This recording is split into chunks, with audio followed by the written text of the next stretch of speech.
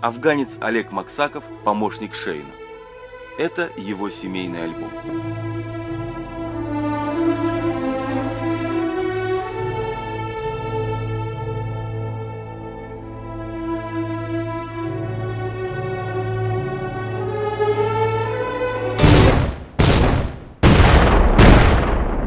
Десять лет прошло, и, видимо, почва под тобой стала уже колебаться. Тогда ты позвонил нам и сказал, не нужно ли вам лекарства? Э, и опять-таки не спросил, как ваше здоровье. На смерти, на загадочном убийстве Олега Максакова взлетела популярность и политическая карьера Шейна.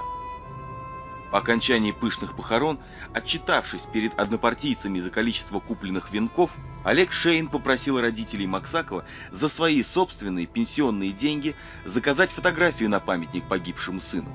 Фотографию мать заказала, но не отдала.